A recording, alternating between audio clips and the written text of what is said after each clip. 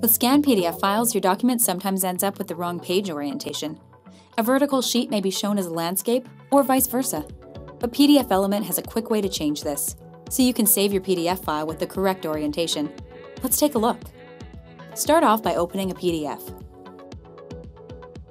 Go to the Page menu and select the pages you want to modify. Then hit the Rotate buttons to rotate either clockwise or counterclockwise. To rotate multiple pages, you can right-click and select Rotate Page. You will see four options under Direction panel. Under Page Range, you can select All to change all pages, or set a limited range. And then hit OK. There you go!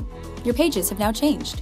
PDF Element provides the simplest way to change your PDF page orientation in seconds. If you found this tutorial helpful, check out the rest of the PDF Element channel online. Thanks for watching and see you next time.